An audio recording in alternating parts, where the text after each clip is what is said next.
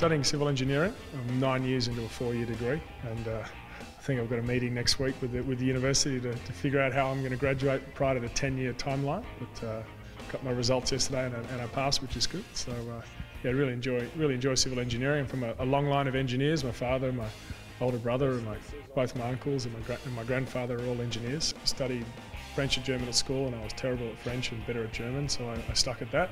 Diesen Wochenende spielen wir gegen äh, Carlton.